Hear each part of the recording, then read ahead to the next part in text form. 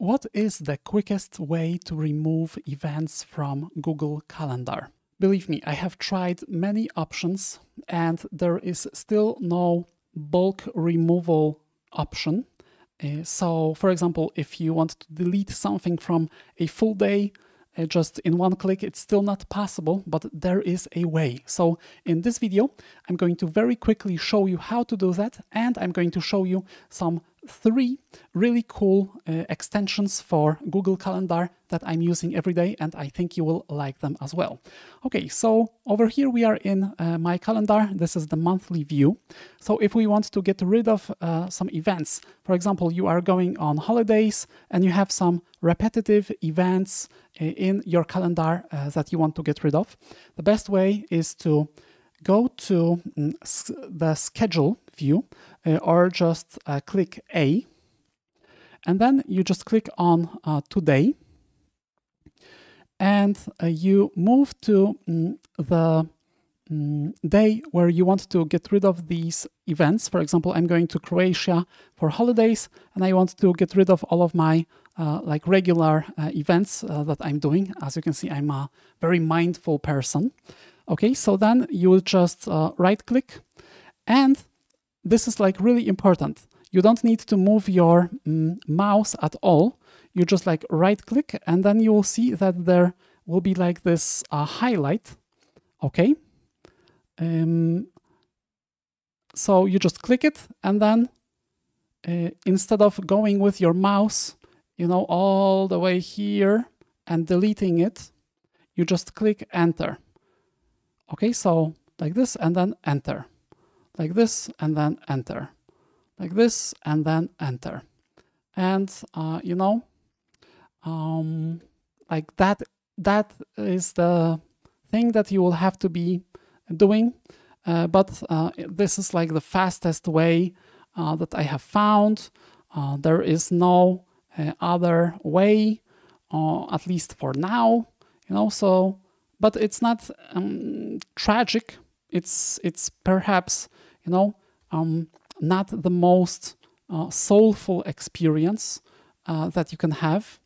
Uh, but uh, this is it, you know, and I recommend that you uh, do it uh, on your computer because in this way it's way faster. otherwise, on the mobile app, it's a little bit longer. Mm, it takes quite a while. So, you know, you can just relax for a few minutes, uh, get rid of uh, some of these uh, events. Okay, so like that's the main thing, but I just wanted to show you um, some other uh, really cool um, things um, that I'm using mm, with uh, Google Calendar to make it more productive. So just really quickly, okay, three uh, kind of Chrome extensions. The first one is Checker Plus for uh, Google Calendar. This one has really a lot of options, but the main one is that, for example, here you can see that uh, it will display your full schedule and um, it will show you how many minutes you have until uh, the next event straight in your browser. So this is like uh, extremely helpful. Uh, I've been um, using this quite a while and it has like many, many different options uh, available. Um, you know, you can do a lot of things with that. There's a paid option even, uh, but uh, like that's um, uh, thing number one. And I'm going to include uh, links to these things in the description. The next one is calendar dark mode. So if you were wondering why my calendar looks so cool, it's because I have this dark mode installed. Okay, so you can have your full calendar. Uh, you can even assign like custom colors. Um, you know, you can make it as cool as you want. Uh, and, uh, you know, it's 2024. Let's uh, stop um, using um, like the light mode, right? And then the finally, uh, the third one is a Google Calendar Quick Duplicate. this is extremely helpful if you want to quickly duplicate an event.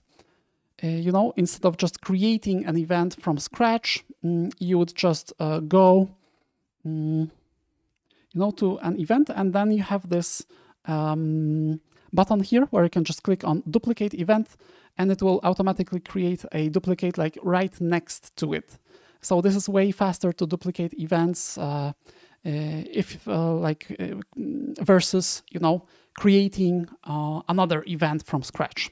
Okay, so mm, that was it. I hope that you have found this video helpful and I'm going to see you in the next one.